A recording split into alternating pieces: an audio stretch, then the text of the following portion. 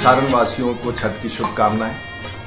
और ये छठ पर्व जो सूर्य भगवान की प्रार्थना के लिए अपने मनोकामना को पूरा कराने के लिए अपने परिवार के लिए सुख समृद्धि के लिए आ, हमारे घर में सब लोग इस पर्व को करते हैं। सबको एक बार अगले इस पावन पर्व के लिए बहुत बहुत शुभकामनाएँ। सारण जिला में तीन, चार प्रमुख नदियाँ हैं, जो इस जिलों को चारों तरफ़ से घेरती हैं। गंगा है, गंडक है सरजू है, घाघरा है। और इसलिए बहुत लोग छठ पर्व मनाने नदी किनारे जाते हैं। आज भी मैंने जब निरीक्षण किया तो बहुत सारे स्थानों पर हमने देखा कि बहुत नदी का धार तेज है।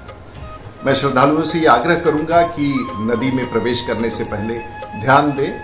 और जिला शासन से मैंने आग्रह किया कि हर जगह गोताखोर हो छठ की व्यवस्था हो, सुरक्षा हो, और बहुत सारे वॉलंटियर्स जो नौजवान हैं, जिला भर में उसकी तैयारी कर रहे हैं, उनको भी मेरा पूरा समर्थन। जो नदी के घाट पर नहीं जाते हैं, वो तालाब में जाते हैं, गाँव के तालाब में जाते हैं, कहीं गाँव के तालाब बड़े हैं, छोटे हैं, लेकिन कई स्थानों पर बहुत गहराई है तालाब में। इसलिए मैं उन लोगों से भी आग्रह करूँगा, श्रद्धालुओं से, कि नदी में बहुत भीतर प्रवेश करके, तालाब में बहुत भीतर प्रवेश करके स्नान करने से दुर्घट, दुर्घटना की संभावनाएँ रहती हैं। इसमें बहुत सावधानी बरती जाए। जैसा कि मैंने अमनौर में भी लोगों को बताया कि अमनौर तालाब की गहराई बहुत ज़्यादा है और उसमें बाँस बल्ले की व्यवस्था की गई है वॉलंटियर्स लगाए गए हैं, गोताखोर लगाए गए हैं और ऐसे जिला भर के तमाम ऐसे तालाबों पर दिए गए हैं। लेकिन सावधानी बरतनी ज़रूरी है।